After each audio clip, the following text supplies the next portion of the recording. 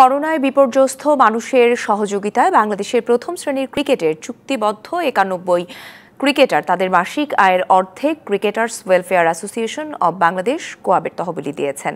কোয়াবের বর্তমান ও সাবেক সকল ক্রিকেটার, ক্রিকেট সংগঠকদের সহায়তায় করোনা ক্রাইসিস মোকাবেলায় আর্থিক তহবিলের উদ্যোগ গ্রহণ করেছে। বৈশ্বিক এই ক্রান্তিকালে প্রথম শ্রেণির ক্রিকেটারদের এমন মানব, মানবিকতা ও দায়িত্ববোধের প্রশংসা করেছে কোয়াব কর্তৃপক্ষ। সবার ঐকান্তিক চেষ্টায় করোনা মহামারী কাটিয়ে উঠতে পারে বাংলাদেশ। দেশের সকলের মতো কোয়াবের প্রত্যাশাও একই রকম। এর আগে দেশের করোনা ক্রাইসিস মোকাবেলায় জাতীয় দলের সাতাশ ক্রিকেটার তাদের এক মাসের বেতনের অর্ধেক দিয়ে তহবিল গঠন করেন।